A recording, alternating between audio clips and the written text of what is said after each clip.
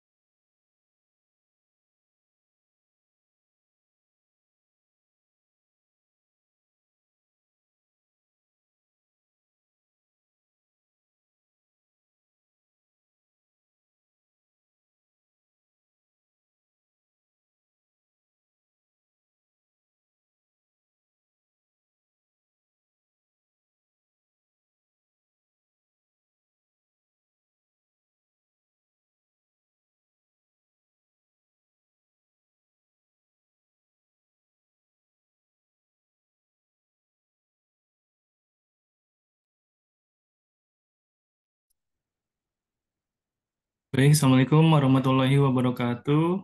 Selamat sore, rekan-rekan semua. Assalamualaikum warahmatullahi wabarakatuh, Pak. Selamat sore, Pak. Bagaimana kabarnya rekan-rekan semua? Sehat? Ya. Pak,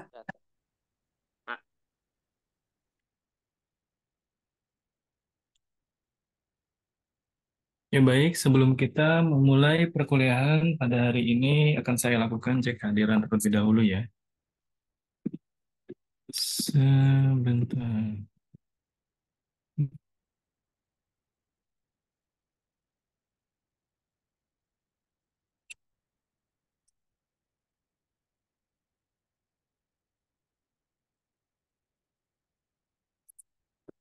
Ahmad Junaidi, Hadir Pak,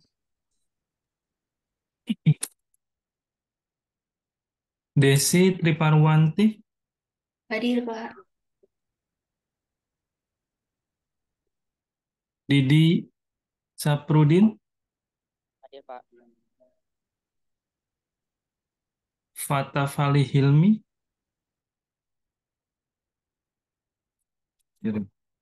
Fatim Muhammad Salahuddin,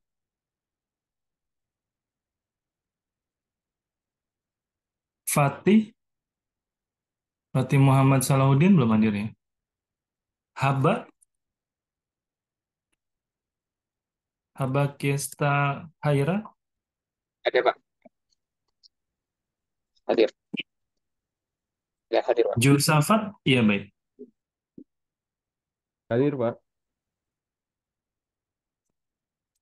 Kusmunadi, Hadir, Pak. Melkianus Leki, Melkianus Leki, hadir ya. Muhammad Yahya, hadir Pak,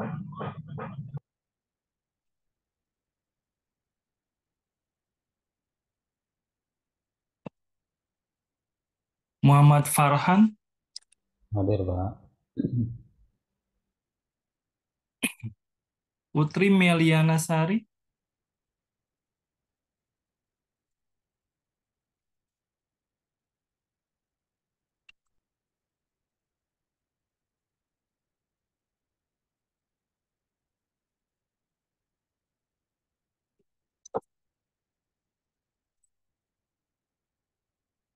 Putri Meliana Sari belum hadir ya.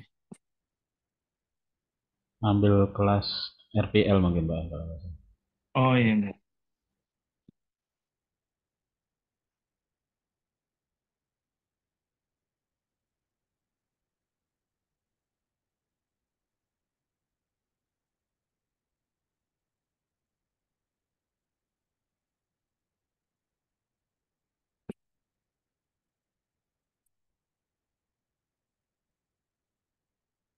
Sebentar ya.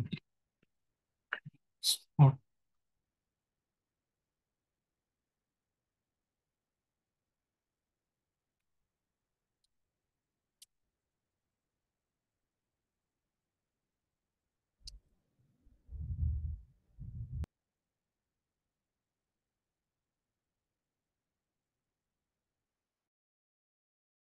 Selanjutnya Raden Ahmad Fauzi, Hadir, Pak.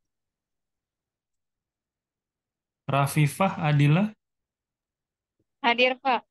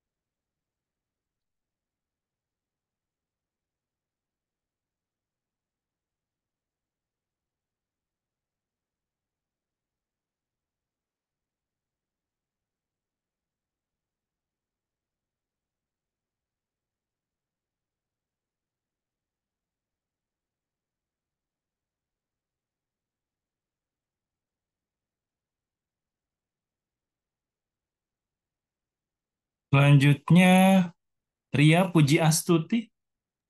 Hadir, Pak. Lalu Sofyan Fatkun Najah. Hadir, Pak. Widhalni. Widhalni tidak ada ya. Yuli. Yuli Widada.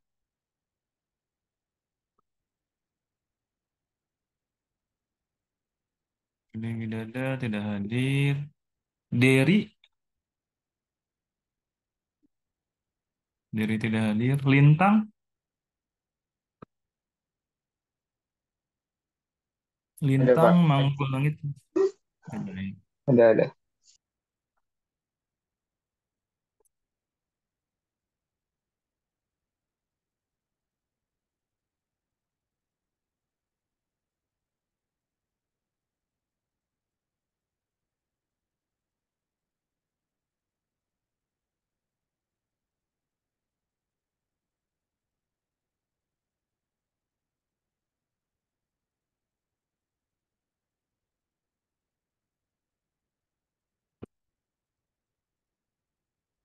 Baik, sebentar ya. Saya sembari cek dulu yang di e-learning ya. Udah saya upload belum? Oh, belum ya. Ini saya sekalian upload di e-learning dulu ya untuk materinya ya. Materi dan juga nanti tugasnya ya.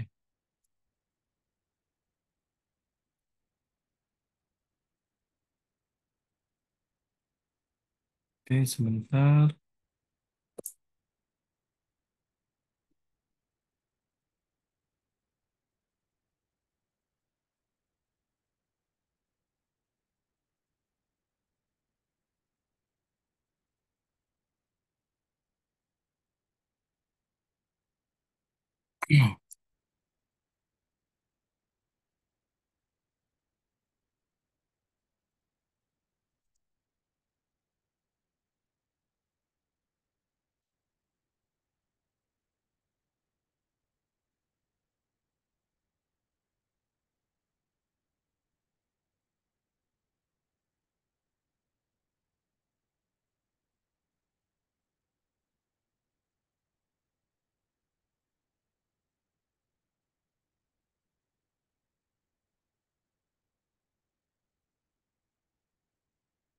Jetzt, ne?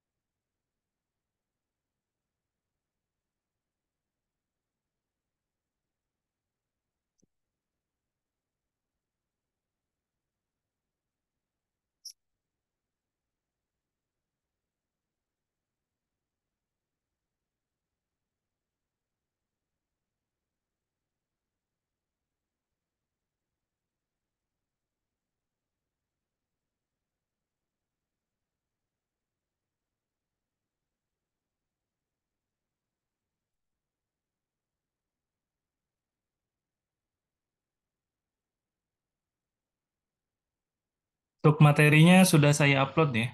Silakan rekan-rekan cek ya, sudah ada atau belum.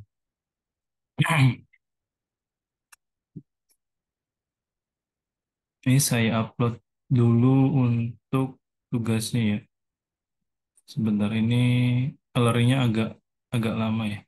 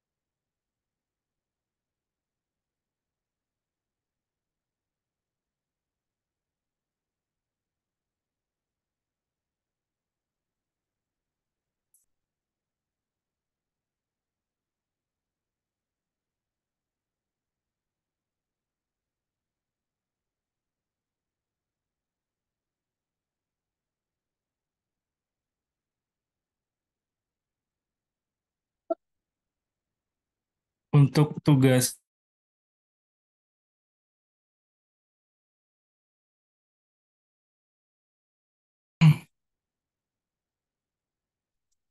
Baik, untuk perkuliahan pada hari ini kita Tugas tiga, Bapak. memasuki Kenapa?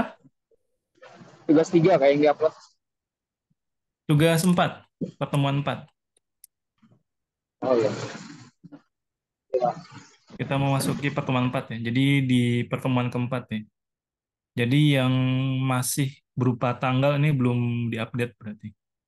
Nah, berarti yang sectionnya sudah berubah jadi pertemuan kesekian berarti itu section yang paling baru ya.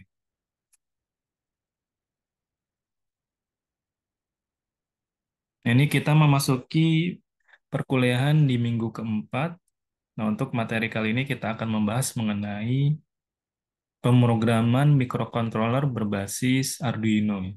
Sebelumnya ada yang sudah pernah menggunakan atau berkutat dengan Arduino?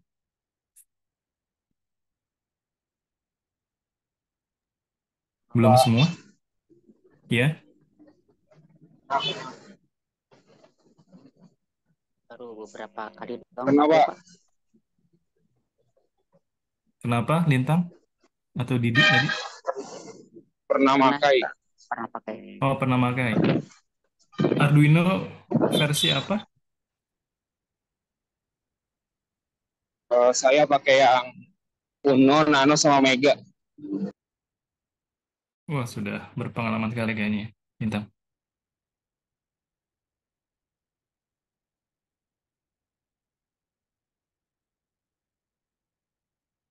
Baik, berarti untuk rekan-rekan yang sudah pernah menggunakan Arduino ini eh, mengi- mengikuti saja ya, karena banyak juga rekan-rekan yang belum mengenal Arduino, jadi ini merupakan eh, pelajaran basic ya, yang dasar ya. Nah, baik, untuk eh, di sini, jadi macam-macam IDE Arduino ya. Jadi seperti kita ketahui, untuk memudahkan pembuatan suatu kode atau development dari suatu software, kita bisa memanfaatkan yang namanya IDE. IDE, IDE sendiri ini singkatan dari Integrated Development Environment. Nah, ini merupakan software aplikasi biasanya berbasis GUI yang digunakan sebagai tempat menuliskan setiap baris-baris kode bahasa pemrograman. Nah, untuk Arduino sendiri ada banyak ya IDE-IDE yang bisa rekan-rekan manfaatkan. Jadi bisa menggunakan Arduino IDE, bisa menggunakan Visual Studio, Atom, Atom IDE, Sublime, dan lain-lainnya. Jadi sangat banyak ya. Nah, ini untuk macam-macam IDE-nya. Nah, untuk eh, gambar ini, jadi di sini menjelaskan arsitektur atau perangkat dari suatu Arduino Uno. Jadi Arduino sendiri banyak ya macam-macamnya. Nah, di sini kita akan membahas mengenai Arduino. Jadi Arduino sendiri sebetulnya dia mirip dengan uh, komputer ya, cuman komputernya dibuat sedemikian rupa hingga perangkat tersebut sangat terjangkau ya. Selain sangat terjangkau, dia juga uh, hanya membutuhkan daya yang rendah dan juga kecil ya. Nah, itu tujuan dari si Arduino ini ya. Jadi makanya perangkatnya tergolong kecil ya. Jadi dia sebetulnya uh, komputer tapi bersifat mini. Nah, di sini untuk bekerja Arduino ini memiliki beberapa pin. Pin ini yang nanti tujuannya akan dipasangkan dengan suatu sensor. Jadi tergantung dengan kebutuhan uh, kasus dari teman-teman. Jadi pemanfaatannya ingin digunakan sebagai apa ya. Nah, untuk kelompoknya sendiri, pin-pin Arduino ini dia dikelompokkan menjadi pin untuk sinyal-sinyal yang sifatnya analog maupun sensor-sensor yang sifatnya analog maupun yang digital. Jadi seperti yang kita sudah pelajari di pertemuan sebelumnya ya. Jadi sensor sendiri kan ada beberapa jenisnya dan itu tentunya berbeda ya nilainya ya. Ketika dilakukan penangkapan di suatu perangkatnya antara analog dan digital tentunya memiliki nilai yang berbeda. Dan digital sendiri kan eh, ada beberapa modulasi ya. Ada yang modulasinya dia tipenya biasa, dan juga dia modulasinya menggunakan eh, modulasi PWM ya. Nah, ini makanya di pinsernya tersendiri dia memiliki kategorinya. Nah, pin analog sendiri bisa rekan-rekan lihat di sini. Jadi di pin analog ini terdiri dari A0 sampai A5. Jadi di sini untuk Arduino Uno untuk sinyal analognya bisa dipasang sebanyak 5 pin nih. Nah, untuk pin digitalnya di sini lebih banyak ya. Jadi 0 sampai 13. Ini saya coba di laser dulu ya. Nah, ini ya pinnya ya. Ini yang untuk analog. Jadi bisa dipasang dari uh, A0 sampai A5. Jadi ada 6 pin ya untuk analognya. Dan ini untuk powernya. Jadi powernya nanti tergantung ya. Untuk sensornya dia apakah butuh power atau tidak ya. Biasanya yang aktif ya, kalau tidak salah yang aktif ini dia butuh powernya berapa, dan ini ada groundnya, ini voltasenya juga berbeda-beda. Nah ini uh, nanti kita akan belajar prakteknya menggunakan uh, emulator ya, emulator dari Arduino-nya. Kalau dulu saya uh, pernah mengikuti mata kuliah IoT sendiri, jadi per kelompok sih dulu ya. Jadi per kelompok nanti tiap kelompok itu uh, diberi tugas untuk uh, menyelesaikan menyelesaikan suatu kasus tertentu ya. Jadi kasusnya bebas ya dari tiap mahasiswa dan nanti tiap kelompok itu uh, karena menggunakan perangkat IoT ya. Jadi makanya mau tidak mau dulu saya itu per kelompok harus membeli beberapa perangkat IoT ya. Jadi kalau dulu itu saya studi kasusnya ada dua sih. Yang satu pernah itu untuk menghitung banjir ya. Itu cukup satu IoT dan satu lagi itu mengenai uh, seperti ini ya, seperti uh, smart vehicle ya. Jadi makanya ada dua Arduino di situ ada dua perangkat IoT, cuman dipasang seperti ada dari Lego ya, ada bannya segala macam, jadi seperti mobil ya bentuknya. Cuman di situ sebetulnya perangkat IoT ya. Dari Arduino nanti dipasang beberapa sensor, sensor penggerak dan segala macam. Jadi agar si dua perangkat mobil tadi bisa saling bertukar data yang mengetahui kalau di depannya itu ada rintangan atau tidak. Jadi ketika ada rintangan nanti saling mengirimkan atau bertukar datanya. Ya. Seperti itu. Cuman karena kita kan juga uh, online ya, jadi makanya agak challenging ya. Jadi makanya di sini kita akan belajar menggunakan emulator saja ya. Dan untuk teman-teman juga nanti kan walaupun dibentuk kelompok untuk suatu proyeknya juga agak repot kalau nanti uh, harus bertemu fisik antar kelompok. Jadi makanya di sini nanti teman-teman secara mandiri ya dan juga nanti membuat suatu tugas-tugasnya menggunakan emulator. Nah, ini contoh dari Arduino-nya. Nah, di sini tadi ada beberapa kategori ya. Nah, untuk yang sensor analog, seperti yang dijelaskan sebelumnya, ini bisa terdiri dari beberapa jenis sensor. Nah, ini eh, biasanya tiap sensor ini memiliki ada ininya ya, petunjuknya ya. Jadi pinnya bagusnya ini nanti ditempel di mana segala macam ya biasanya nanti rekan-rekan harus uh, ada buku panduannya diikutin ya biasanya. Diikuti saja buku panduan seperti pemasakan LDR, potensiometer dan juga kelembaban tanah ya dan lain-lain. Dan juga untuk yang sensor digital juga bermacam-macam ya. Jadi untuk yang sensor digital tentunya dipasang di pin yang digital. Nah, ini contohnya ada sensor DHT22, sensor PIR, dan lain-lain. Ya. Nah, biasanya kalau menggunakan Arduino yang yang fisik ya, ini pun harus berhati-hati biasanya. Kadang kalau misalnya salah pasang, ini sensornya bisa rusak nih. Kadang sensornya bisa rusak, malah si perangkat Arduino-nya yang rusak. Cuman karena kita virtual ini aman ya. Nah, ini struktur pemrograman dari Arduino. Jadi kita membahas kembali struktur pemrograman pada Arduino. Jadi di Arduino sendiri ada tiga bagian utama. Jadi yang paling atas ini yaitu suatu deklarasi. Jadi ada deklarasi, ini contohnya define LED ya sebagai 13 ya. Jadi biasanya merupakan bagian yang digunakan sebagai pendeklarasian variabel, library, nilai, maupun lain-lain nih. Lalu selanjutnya di sini ada void nih, void setup. Nah, void setup ini merupakan bagian yang digunakan untuk mengatur mode dan pengaturan kode yang dijalankan satu kali. Jadi hanya dijalankan satu kali ya. Ketika si Arduino ini dinyalakan. Lalu baru di sini ada void loop. Nah, void loop ini merupakan bagian yang akan dieksekusi terus-menerus atau loopingnya selama si Arduino-nya menyala. Jadi ini kode uh, contoh ya nanti ya yang bisa teman-teman dicoba ya. Nah ini contoh serial monitor ya pada Arduino IDE. Jadi uh, merupakan alat atau tools yang dapat bekerja mengirim ataupun menerima data serial baik itu dari kabel USB maupun pin serial uh, transceiver ataupun receiver dari Arduino-nya.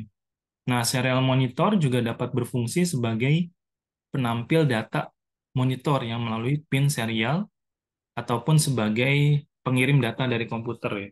Jadi kalau ingin menampilkan datanya nanti menggunakan serial monitor ini ya. Jadi bisa disambung menggunakan USB atau pin ataupun pin serialnya. Nah, ini fungsi serial monitor lain, yaitu jadi serial monitor ini sangat bermanfaat saat kita melakukan programming ya. Jadi di antaranya bisa menampilkan data, mengamati juga ya pembacaan datanya, jadi juga selain itu melakukan troubleshooting ya. Jadi bisa tahu ya kalau adanya error pada suatu komponen. Nah, di serial monitor sendiri ada istilahnya itu baud rate ya. Jadi baud rate ini merupakan kecepatan transfer ya. Jadi paling umumnya itu kalau di Arduino itu bisa menggunakan 9600 ataupun 115200 ya. Jadi ini untuk untuk transfer datanya ya. Nah, di sini kita akan mencoba menggunakan tinkercad.com. Nah, jadi teman-teman coba buka untuk alamatnya di sini ya coba akses tinkercad.com, lalu login dengan akun yang sudah dibuat. Jadi kalau rekan-rekan belum pernah menggunakan Tinkercad, di sini bisa membuat akunnya ya.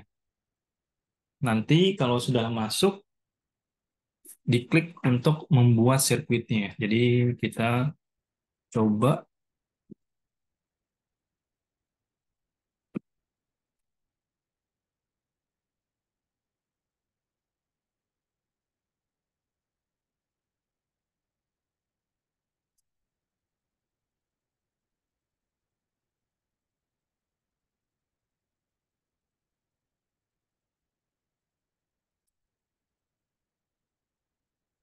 Nah, ini tampilan dari tinkercad.com ya.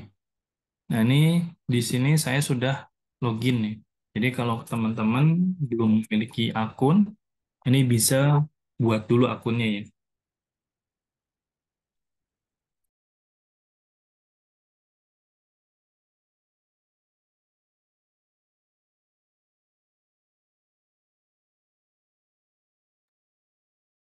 Jadi setelah teman-teman sudah masuk ke tinkercad.com ini, nanti diklik desain nih, diklik desain nanti coba klik yang create. Nah, di sini ada pilihannya ya. Mau 3D, kita pilih yang circuit.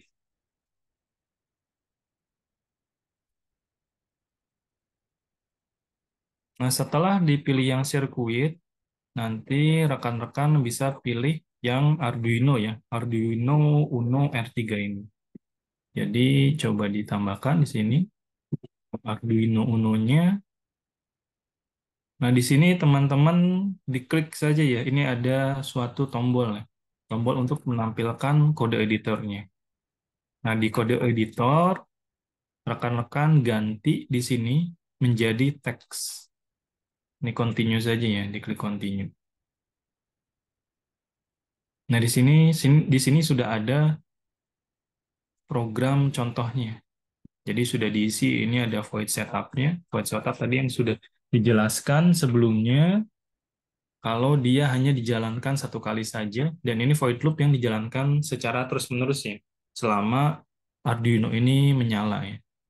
Jadi di sini ada pin mode ya. Jadi eh, untuk eh, pin modenya di sini LED built ini. Jadi di sini di Arduino sendiri sudah ada built-in LED-nya. Jadi di sini kita akan uh, melakukan suatu output ya dari LED ini. Nah, di sini di loop-nya ini kita akan membuat suatu sinyal ya, sinyal digital di sini dia untuk LED-nya menjadi uh, voltasenya menjadi high ya. Jadi nanti di delay ada delay 1000 ini berarti dia menunggu satu detik ya.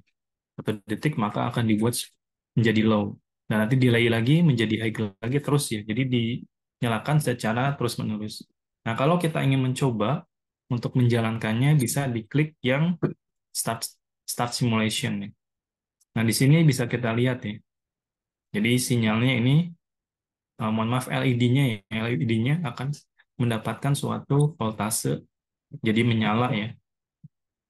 Dan kalau satu detik kemudian dia mati. Jadi seperti ini secara terus-menerus. Nah, di sini kita akan coba ya, menggunakan, saya coba,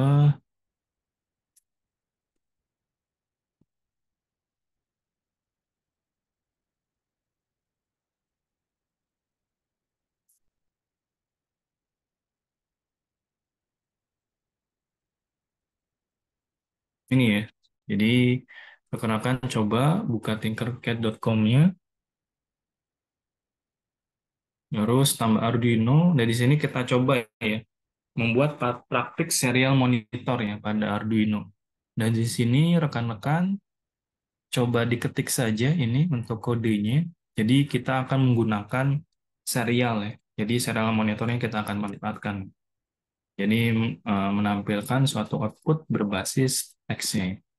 Jadi di sini diganti menjadi serial Nah, ini kita klik, kita ketik bijin nih. Nah, 9600 kita isi 9600. Nah, 9600 itu maksudnya tadi ya baud rate-nya ya, kecepatannya. Jadi pilihannya 9600 atau 11500 eh, ya. Lalu selanjutnya di sini kita akan menampilkan suatu pesan.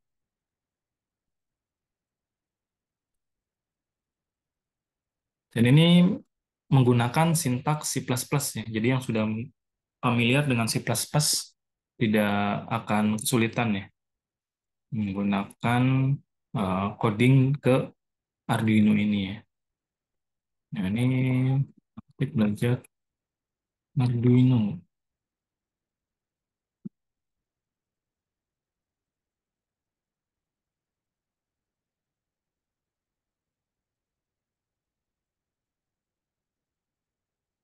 Ini.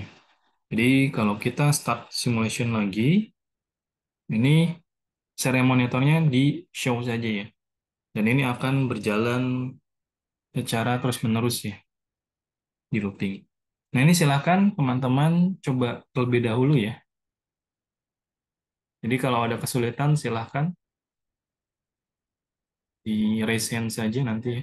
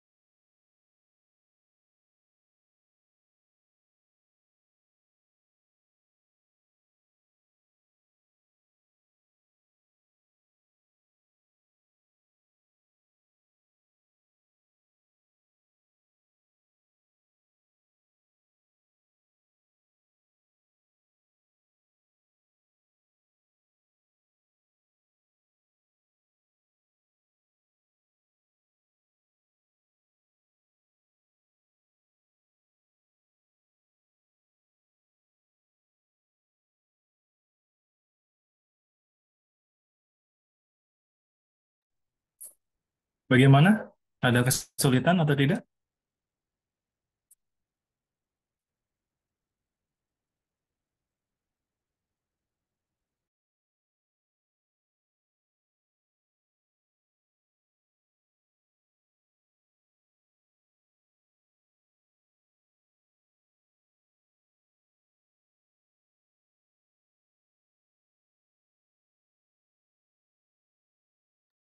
Ya, silakan Rafifah.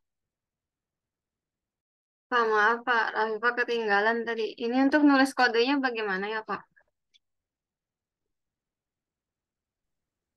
Tulis kodenya lebih enak memang pakai laptop sih, laptop atau komputer ya. Jadi nanti Iya, pertama di drag and drop dulu, nanti si perangkatnya. Coba saya share screen dulu ya. Nah ini Pak maksudnya supaya kode editor yang muncul itu klik yang mana Pak? Oh, diklik kode aja nih. Diklik kode, kodenya diklik nanti ini kan ada pilihannya ya, edit modenya itu blok atau blok, blok atau teks atau teks. Nah, pilih yang teks. Oh Ini iya, harus dipilih iya, dulu yang teks. Ini baru nanti di tick ya, sesuai dengan perintah tadi. iya. Makasih ya Pak. Ya, sama-sama.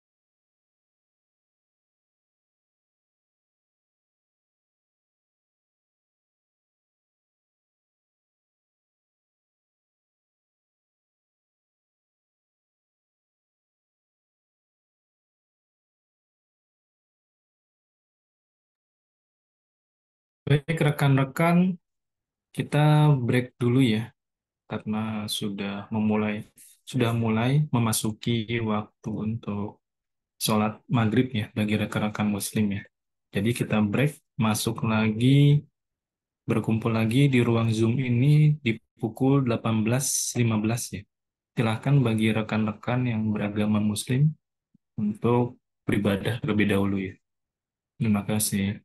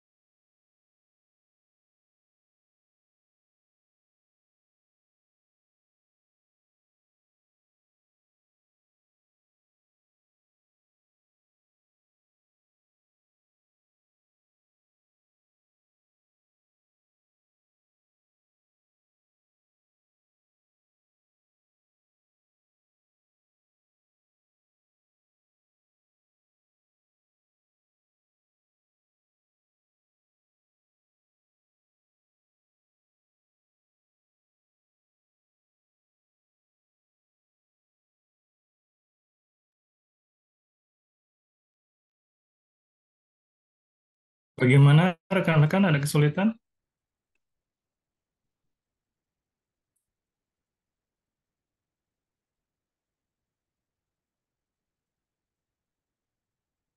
Pak, saya boleh nanya perihal Ya, silakan. Itu Silakan. tugas kita cuma buat video tanpa menjelaskan atau seperti apa, Pak? Dijelaskan juga ya? Jadi Lewat kayak suara. membuat tutorial sih. Iya, lewat Oh, suara. oke oke. Itu aja, Pak. Itu kalau untuk skripnya sendiri kalau kita langsung copy paste gitu aja nggak apa-apa, Pak? Atau harus dari ketik dari awal? Nggak masalah copy paste juga, nggak masalah sih. Oh ya sudah. Oke, Pak, itu aja. Si Pak. Iya, iya sama-sama.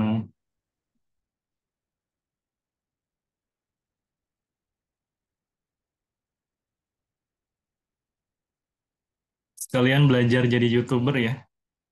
Soalnya kalau nggak salah di TTS juga ada poin kelulusannya kalau jadi YouTuber itu masuk juga ya kriterianya kalau nggak salah.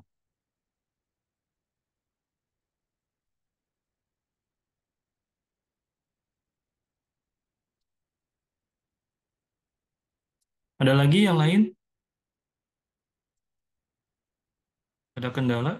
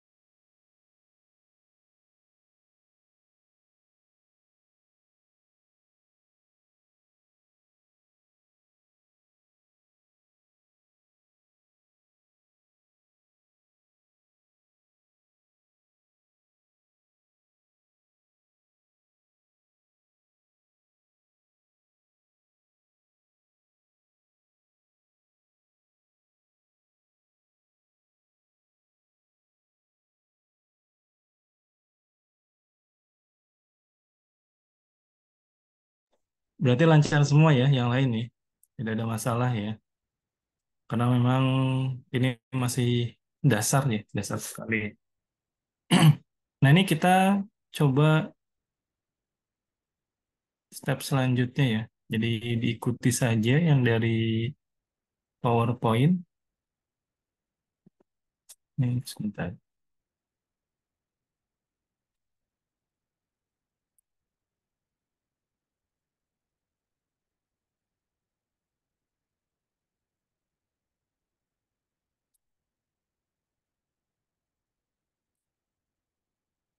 Nah, ini kita masuk di materi selanjutnya ini di slide selanjutnya jadi menjelaskan PWM atau singkatan dari pulse width modulation. Jadi apa itu PWM? PWM itu merupakan suatu teknik modulasi yang mengubah lebar pulsa atau pulse pulse width dengan nilai frekuensi dan amplitudo yang tetap. Jadi PWM ini dianggap sebagai kebalikan dari ADC atau analog to digital converter yang dapat mengonversi sinyal analog ke digital. Nah, PWM ini digunakan untuk menghasilkan sinyal analog dari perangkat digital. Jadi contohnya microcontroller ya. Sehingga keluaran tegangan output dari microcontroller ini dapat diatur. Jadi eh, dia eh, sebetulnya kebalikan dari ADC ya. Jadi agar si sinyal eh, atau informasi digitalnya itu bisa dibaca kembali sebagai informasi yang mirip dengan analog. Jadi makanya di sini bermainnya dia dari rentang si waktunya ya nanti. Bisa dilihat di sini ya. Jadi makanya bisa diaturnya seperti itu. Jadi seperti contoh di sini ada yang 0% duty ya. Jadi dia pasti rata di bawah semua. Cuma kalau 25% nanti main di rentang waktunya itu dia akan di waktu sekian ini hanya 25% dari satu uh, siklusnya ya, satu fasenya. Yang di 50% juga sama, yang 75% juga sama. Lalu kalau 100% dia akan rata semua di atasnya. Jadi bermain di fasenya saja dia. Jadi di rentang waktunya. Nah, ini cara kerja PWM. Jadi PWM ini bekerja dengan menyala matikan output dalam rentang waktu ya, tadi yang sudah saya jelaskan sebelumnya. Jadi eh, bermainnya itu di rentang waktu yang sangat cepat sesuai dengan konfigurasi. Nah, duty cycle ini merupakan siklus di mana microcontroller memberikan tegangan dalam waktu tertentu. Jadi sebagai contoh ya, pulsa yang dihasilkan di microcontroller di bawah ini dia dalam satu siklus itu selama 2 milidetik duty cycle-nya. Jadi sekitar 200 milidetik. Nah, berarti dia itu 60%. Karena jadi kan satu rentangnya tadi 20 milisecond. Nih. Tapi untuk pengiriman atau menyalakan outputnya itu dia secara 12 milidetik. Jadi makanya di, akan dianggap sebagai 60%. Jadi sehingga dalam frekuensi 50 Hz akan dihasilkan tegangan rata-rata 3 volt. Jadi nilai ini akan turun nih dari yang tegangan sebelumnya itu 5 volt. Nah, ini penjelasan singkat dari uh, cara kerja PWM. Nah, ini penggunaan PWM sendiri, dia pemanfaatannya banyak ya.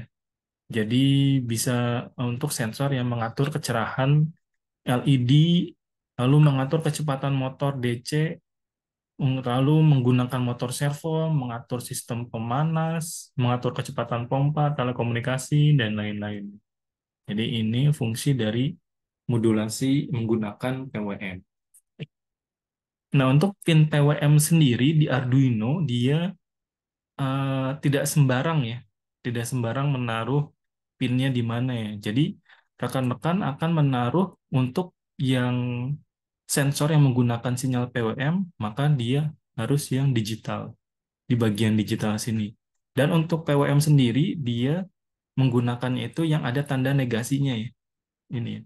Jadi yang ada tanda tiddle ini, ini yang nanti yang bisa teman-teman manfaatkan. Nanti dipasangnya di sini, yang ada tanda sebagai PWM, tanda tiddle. Jadi ada tanda negasi, di sini yang bisa dimanfaatkan. Jadi ditaruhnya nanti untuk kabelnya jangan salah ya.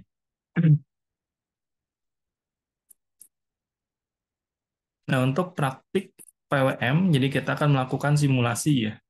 Simulasi menggunakan uh, sensor yang memanfaatkan atau mengirimkan datanya itu menggunakan PWM. Nah, jadi rekan-rekan menambahkan board lagi, board Arduino Uno R3 lagi di bagian komponen, lalu klik di bagian simulation space ya. Nah, lalu tambahkan juga breadboard small dan potentiometer. Nah, potentiometer ini suatu sensor ya. Nah, nanti bentuknya seperti ini ya. Jadi kita coba. Ini saya lanjutkan saja ya pakai yang sebelumnya. Ini sudah ditambahkan untuk Arduino Uno R3-nya. Lalu selanjutnya kita masukkan yang breadboard-nya, breadboard SPAL. Nah, breadboard ini dia uh, tujuannya untuk menaruh ya sensor yang akan sensor-sensor yang akan digunakan di Arduino Uno ini. Jadi di sini akan banyak sekali ya pin-pin ini. Nah, untuk pin-pin ini nanti ditaruh suatu sensornya. Dan untuk penempatan pinnya sendiri, ini bebas ya rekan-rekan ya. Ini untuk sensornya bebas mau di A, mau di B, sampai J ini. Dan nanti kalau di bagian kiri dan juga kanan ini merupakan suatu powernya nanti yang menyambungkan ke si Arduino Uno-nya. Jadi ini juga jangan kebalik ya antara plus dan minus ini. Sini juga ada plus minusnya. Jadi diikuti saja karena setiap sensor kan beda-beda ya. Ada pengaturannya tersendiri. Nanti eh, bisa rekan-rekan baca dulu jadi kalau misalnya untuk sensor potensiometer, nanti pin mana saja yang dibutuhkan ya. Apakah eh, plusnya di bagian mana, minusnya di bagian mana, groundnya juga di bagian mana. Ada penjelasannya. ya. Nah ini kita ikuti saja untuk eh, pemasangan potensiometer. Jadi kita tambahkan breadboard yang small, lalu kita di sini cari yang potensiometer. Ini potensiometer, ini bebas ya, di mana saja ya. Nah, setelah potensiometer, kita tambahkan kabelnya. ya. Jadi kabelnya di paling kiri ini merupakan sin eh, plus ya. Ini diubah dulu warnanya. Ini biar membedakan saja ya. Lalu yang di tengah ini langsung disambungkan nih ke eh, nol.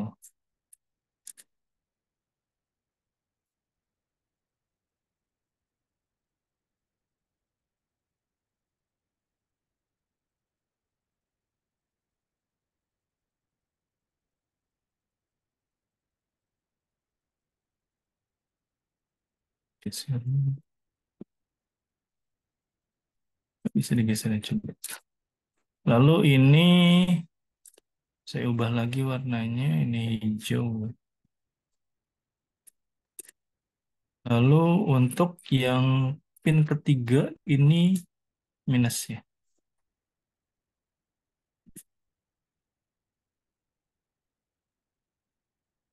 Ini yang black. Nah ini baru kita sambungkan nih untuk yang plusnya ini. Ini kan baru di boardnya saja. Yang plus ini yang merah. Ini memakai yang 5 volt ya. Nah biasanya ada konfigurasinya masing-masing ya. Harus baca di petunjuknya dulu sebetulnya. Ini warnanya biar lebih mudah saja ya menggambarkan. Ini yang minusnya ada di ground. Iya, contohnya. Ini nanti buat rekan-rekan, coba buat seperti ini. Lalu coba simulasi, simulasi PWM-nya. Jadi untuk kodenya, ini masuk lagi ya di kodenya. Nah, ini kita ubah di setupnya. Ini serial begin-nya masih sama. Di sini kita ubah ya untuk di void loop-nya. Jadi di sini integer output analog grid ini analog grid ini sudah fungsi bawaan ya dari Arduino Uno ya. dan ini membaca ya yang dari A0 ini. Nanti integer nilai PWM kita tampung ini menggunakan map ya.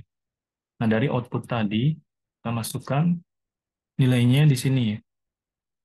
Nah, untuk nilainya sendiri ini sebetulnya eh, bisa teman-teman in- coba-coba inputkan ya. 0 lalu 255.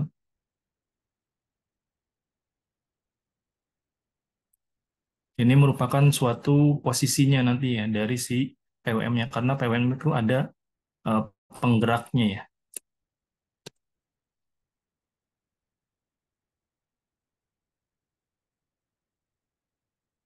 PWM.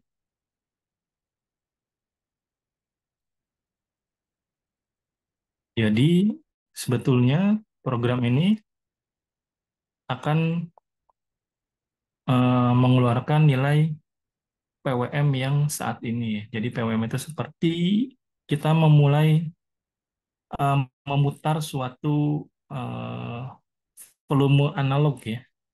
Kalau rekan-rekan dulu pernah punya radio ya, radio yang bukan mesin radio yang zaman dulu itu kan untuk volume atau pengubahan frekuensinya kan diputer ya.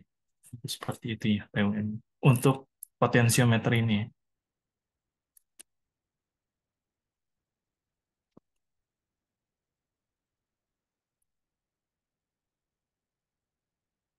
Ini delaynya 100 milisecond.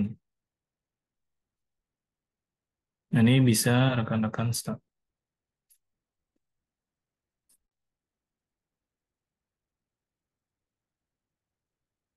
Nah, ini bisa diputar ya. Putar-putar. Jadi kalau kita lihat di sini ada perubahan yang nggak bisa di ini. Nah, ini bisa rekan-rekan coba ya.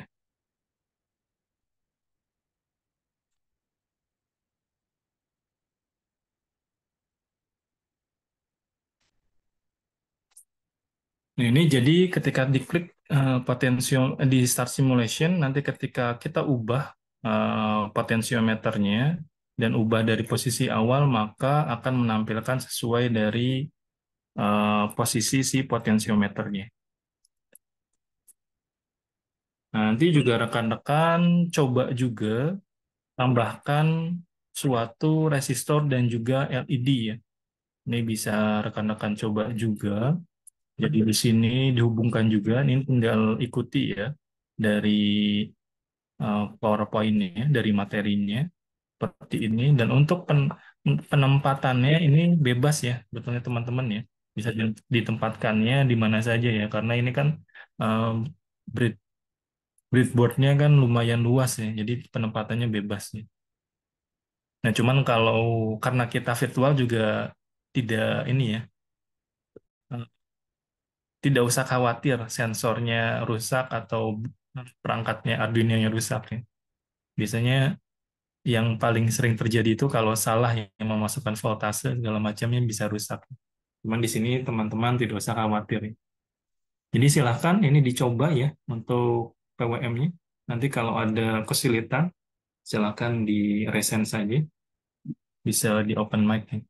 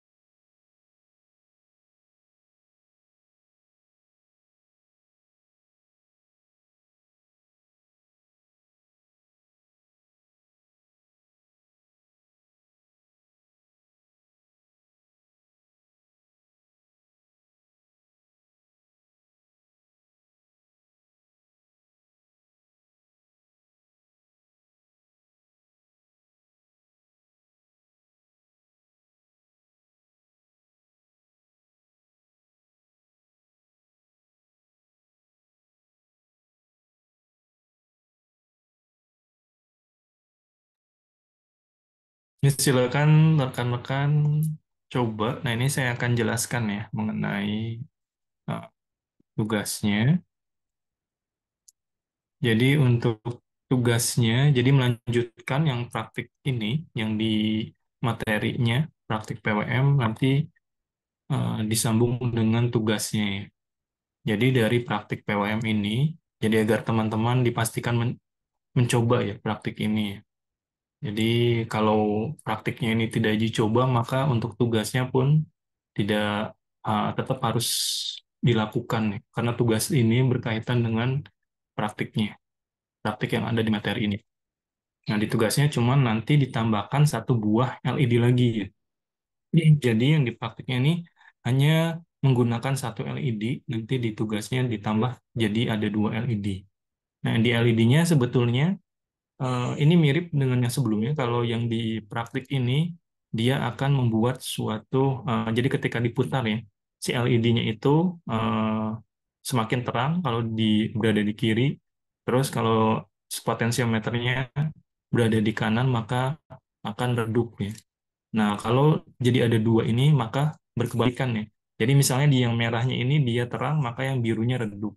Tapi ketika diputar lagi, nanti yang birunya uh, terang, maka yang merahnya redup. Seperti itu ya. Jadi nanti rekan-rekan buat uh, video tutorialnya untuk membuat board yang seperti ini. Jadi nanti diupload di YouTube. Jadi nanti link YouTube-nya yang rekan-rekan uh, kumpulkan ya, yang disertakan nanti di tugas pertemuan 4. Sampai sini ada pertanyaan?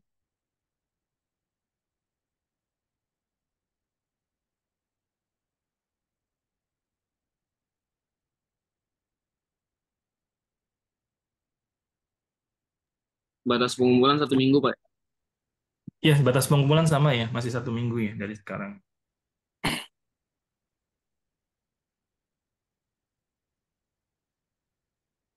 Oke, Pak. Ya, baik. Ada lagi?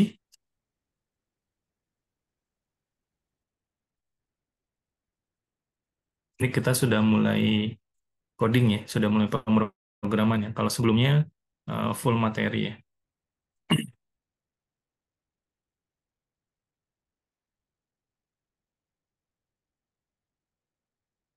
Ada lagi?